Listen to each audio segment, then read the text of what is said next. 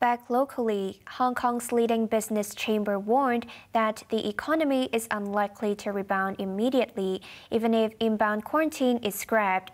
It also urged authorities to work on resuming travel with the mainland and lure foreign talents. Janice Low reports. Starting last Monday, inbound travelers no longer have to serve hotel quarantine, as the government scrapped the rule which had been in place since December 2020 but the business sector poured cold water on the milestone, saying arrivals are still bound by restrictions, most notably a ban on restaurant dine-ins. Calls are already mounting to scrap the three days of medical surveillance. At the forefront is the Hong Kong General Chamber of Commerce.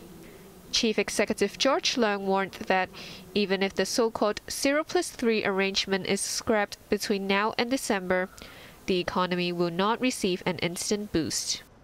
The effect, I think it needed to be serviced uh, uh, mostly in next year. Because uh, this sort of, uh, you know, large-scale uh, activities, uh, it need some one to two months to plan.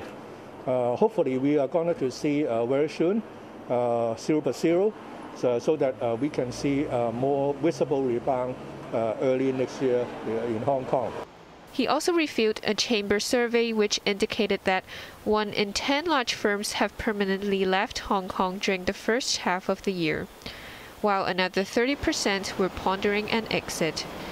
Another urgent matter, he added, was the lack of high skilled labor in the city.